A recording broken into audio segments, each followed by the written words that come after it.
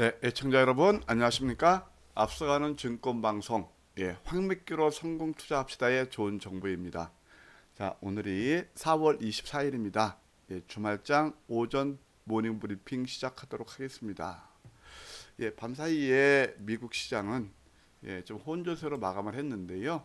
예, 좀 이제 단기 급등에 따라서 뭐 자연스럽게 숨고르기 구간이 아닌가 예 그렇게 생각을 합니다.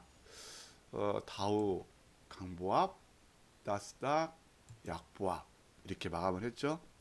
특히 이제 성장주 중심인 음, 나스닥은 121선 좀 저항에 부딪히면서 어, 좀 탄력이 둔화되는 그런 흐름이고요.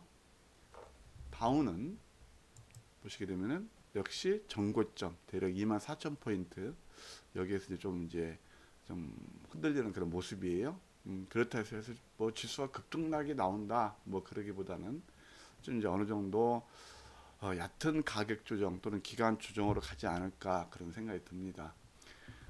어, 특히나 유가는 음, 쓰나미를 벗어나서 어느 정도 이제 안정권에 접어들었다고 보고요.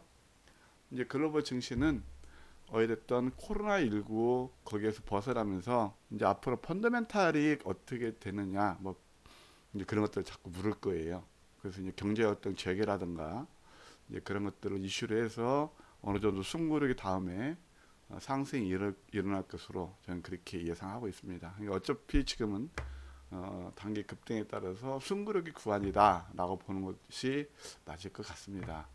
이제 국내 증시로 들어와서 어, 제 코스닥 같은 경우는 상당히 강한 흐름을 보였어요. 그렇죠.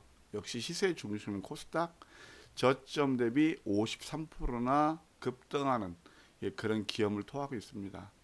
695포인트가 어, 바로 여기인데 어느덧 거기를 거의 지수로 봤을 때는 회복했어요. 물론 또 그러다 보니까 실적과 성장성이 뛰어난 그런 종목들은 또 한번 사상 최고치를 경신하는 것들이 많죠. 이따 잠깐 설명드리겠지만 바이오에서 어제 뭐 제가 어? 여의도 주식왕에서 추천드렸던 매드팩트 같은 거 신고가 있죠. 알테오젠 급등하고 있죠. 또 어제 삼성 바이오로직스도 60만 원 돌파하고 있죠. 다 이런 것들 우리가 주목할 필요가 있다는 생각이 들고요. 어쨌든 이제 코스닥 같은 경우는 어제도 이제 강한 상승으로 갔는데 이때가 하여튼 신의 한 수 있죠. 저는 우리 VIP 클럽에서 이때 매수하십시다. 또 한번 이때는 절호의 찬스입니다. 이격 주정 파일을 박는 겁니다. 이제 그때는 유가 급락 플러스 김정은 사망설까지 겹치면서 노이즈를 주었죠. 그래서 구주문을 만든다고 말씀드렸기 때문에 이럴 때가 역시 이제 기회고 지금은 이제 어떠냐면은 그래서 오실레트가 95에 또 한 번. 물론 장이 상당히 강하기 때문에 뭐 쉽게 무너지지는 않을 것 같습니다만 그래도 지금은 상승 기울각대가 현재 둔화되는 구간이다. 그걸 아실 필요가 있어요. 주봉을 본다 하더라도 지금은 이번 주까지 만약 오늘까지 양선이 나면은 양선이 나면은 다섯 개예요. 주봉 또한 오실레트가 100에 육박해요. 그래서 우리가 이제 교과서적인 그런 어, 접근 방법이라고 할까? 오실레트 20 이하에서는 매수고 그다음에 80 이상에서부터는 매도하라 그런 게 있습니다. 그게 뭐 정확히 맞는다고 볼 수는 없지만 FM이면 그렇다는 얘기죠. 그러면 오실레트가 주봉도 96이면 우리가 일정 부분 조정에 대비해야 되는 그런 구간이다라고 말씀드리고 싶은데요.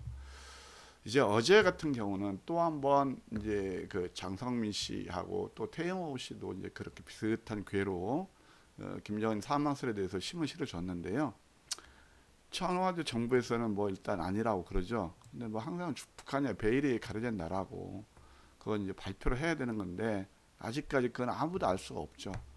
그래서 어제 어이, 어이 됐던 그와 관련해서 어떻습니까? 대부분 종목들이 시간에 좀 많은 하락을 가져왔단 말이에요. 그럼 오늘 어떻게 할 것이냐? 예? 오늘 어떻게 할 것이냐? 분명히 미국 시장도 정강 후약으로 끝났단 말이에요. 그렇죠. 그러면 어제 또 우리 코스닥 같은 계속 지금 보면 고점 그런 징후가 보이죠. 그러니까 어제 또 시간에 대부분 종목들이 내렸죠. 그러면 아침에 갭 상승 출발은 어려울 겁니다. 그래서 사실 좀 나, 만약에 운 좋게도 어, 높게 출발한 종목들에 있으면 일단은 그 차익하는 게 좋아요. 오늘 음선 가능성도 있거든요. 그렇죠? 차익하는 게 좋고 그럼 또 낮게 출발할 때 여러분들이 보유하는 종목들이 낮게 출발할 때 특히 제 4차 산업인조 여기서 매도할 필요는 없어요. 매도할 필요는 없다. 그렇게 생각이 들어요. 그래서 매도할 필요는 없고 어쨌든 지수는 한 650포인트 그 내에서 한번 try 할 거예요. 밴드 상단이거든요. 그때 하는 거고 하여튼 낮게 출발하는 매도는 안 하시는 게 좋습니다. 만약에 물량을 축소한다 그래도 위에서 좀 이제 반대이 나오거든요. 낮게 출해서 그냥 여기서 계속 음선 나올까? 저는 그렇게 안 봐요. 그럼 이번 뭐 조정이 한다고 600포인트 내거든요. 그래서 일단은 그런 스탠스로 가는 게 맞다라는 생각이 듭니다. 방산주들은 어제 제가 이제 음 저녁에 그 소식이 나오면서 보니까 종목들이 대부분 시간을 내려서 제가 영상을 올려 드렸죠. 어, 어제 시간에 이제 급등 나오고 그런 것들은 오늘 고점이면 그것은 미련 없이 차익 실현하는 그런 전략이 좋아 보입니다.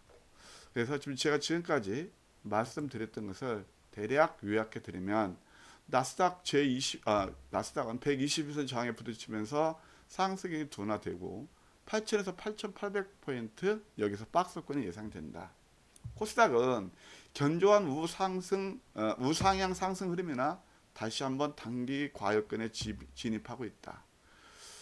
음, 어제 마감 후 김정은 이슈로 대부분 종목들이 시간의 조정을 보였는데 개파락 출발 시 매도 제대 좀 저점 기회를 삼고 이렇게 오를 때 그때 좀 매도를 일정 부분 해놓자.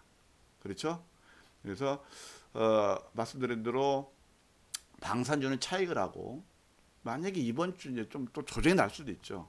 그러면 오양봉보다는 다음 주에 조정 나올 걸 미리 조정 받는 것도 그렇게 나쁘진 않아요. 그래서 음봉 주면 다음 주에 좋을 수 있다. 전 그렇게 보고 있고 어, 다소 이제 불확실한 어, 불확실한 구간이나 어, 제 4차 산업혁명주 이건 순환 상승이니까요. 변함없는 순환 상승이니까 또는 모멘텀이 있는 개별 종목 상승은 우리가 지속 염두에 두면서 포커스를 맞추자.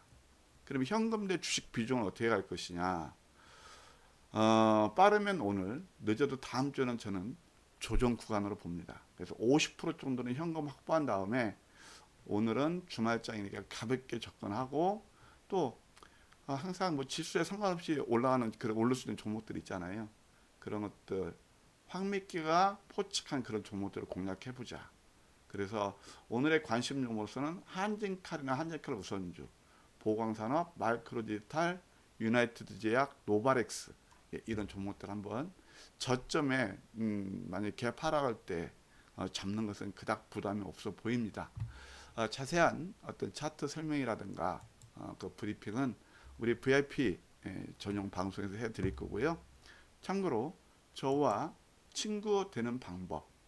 음, 여러분들 요즘 뭐 우리 유튜브 애청자들 어, 구독자도 많이 늘어나시고 저도 힘이 됩니다. 물론 어, 좀 여러분께서 다소 예민하게 좀 받아줄 수 있는 VIP 그룹은 어제로서 100분을 돌파했고 대교 회원만도 20명이 넘습니다. 어, 다시 한번 감사드리고요. 어, 꼭 이렇게 뭐 여건이 안 되신다 하더라도 여러분께서 저한테 좋은 정보를 받기 위해서 힘을 실어주는 방법은 딱 이겁니다. 예, 뭘 해주시냐면 구독과 좋아요 눌러주시고요.